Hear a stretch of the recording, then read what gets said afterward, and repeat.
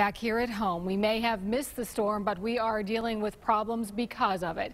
Good evening, everybody, and thank you for watching. I'm Tracy Carloss. News Channel 5 Stephanie Ramirez joins us just back from the airport. And Stephanie, it was a quiet airport. Yeah, Tracy, parts of the uh, Cleveland Hopkins International Airport look like a ghost town today because of all the cancellations back east. The uh, flights, though, are slowly picking up, but those at the airport are warning that travel headache isn't over yet. Hayat Ali went through security at Cleveland Hopkins International with her fingers crossed her flight wouldn't be canceled. They said no.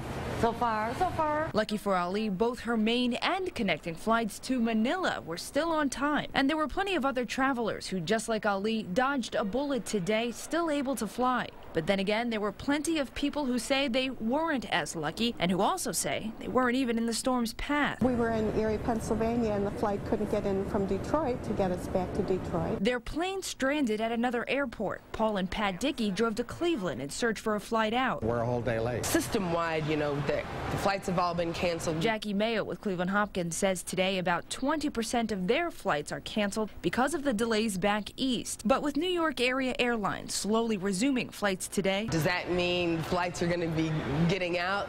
You never know.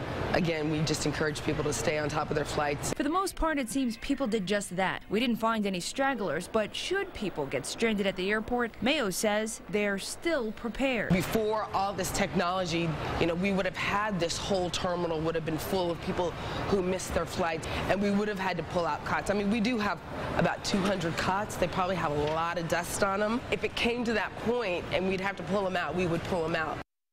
No need for cots this time around. You know, uh, Tracy, I also learned that power crews in our area were also affected by this storm. I was told about 200 uh, employees with First Energy. Those workers were sent over to Pennsylvania and New Jersey to help out. They should be uh, headed home soon. Live in Cleveland tonight on your side, Stephanie Ramirez, News Channel 5.